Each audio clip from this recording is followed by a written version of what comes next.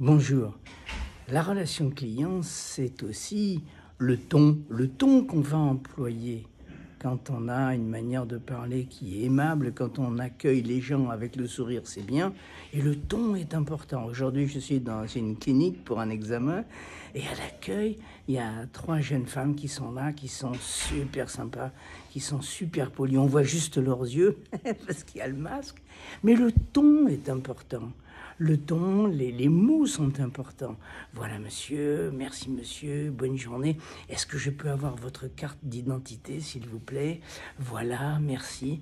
Et tous ces renseignements qu'on peut donner aussi aux clients sont importants. Par exemple, aujourd'hui, elle m'a dit, vous allez aller en salle 4, mais elle a fait le signe 4, parce qu'il y a peut-être des gens aussi qui entendent pas bien.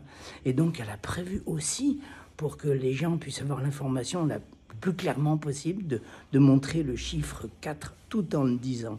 C'est toute une question de détail, c'est une question de temps, c'est une question de, gentillesse, c'est une question de ton. Quand on n'attend pas, quand on est sympa, et le ton, la gentillesse, le ton aimable, ça fait la différence. voilà, j'ai un examen, je suis très content hein, parce que j'ai eu un super service client, j'ai une bonne humeur et ça va mieux se passer. Voilà, j'espère que cette idée vous sera utile. Bonne journée.